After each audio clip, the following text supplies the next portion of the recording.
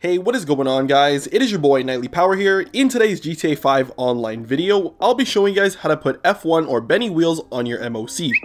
So if you guys are enjoying today's video, make sure to drop a like, and if you're new to my channel, consider subscribing for more awesome content like this. Now before I start today's video, here's a quick word from today's sponsor. Now before this video starts, I want to give a shout out to today's sponsor, Digizani. If you guys are looking for a cheap, fast, and reliable GTA cash plus rank, then check out Digizani.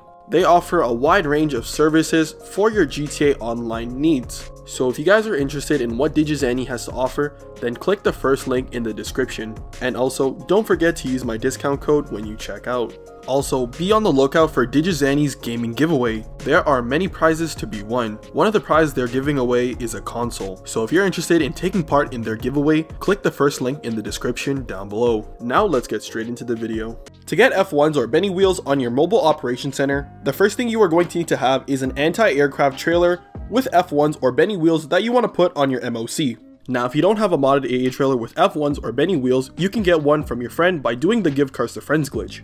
So as you guys can see, my MOC is completely stock with no F1s or Benny wheels.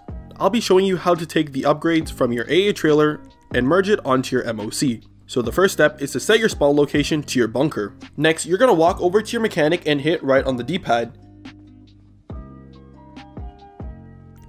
Now you're going to select Customize Mobile Operation Center, then select Customize Cab. Now when you get in the mod shop, you are going to change one upgrade on your MOC. After you change one upgrade on your MOC, you're going to back out, then you're going to select Customize Anti-Aircraft Trailer, then select Weapons. Now you're going to scroll between the different options for about 10 seconds.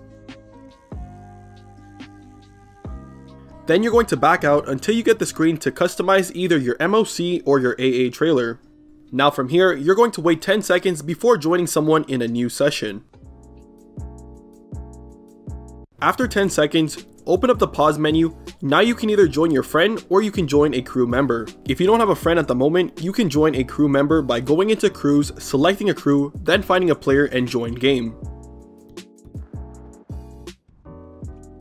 Now when you spawn in a new session, if everything was done correctly, when you make your way to your MOC, the mods from your anti-aircraft trailer should now be merged onto your mobile operation center.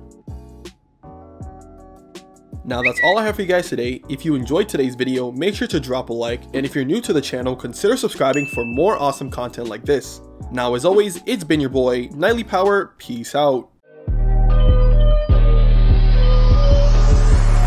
at my life, feel my pain.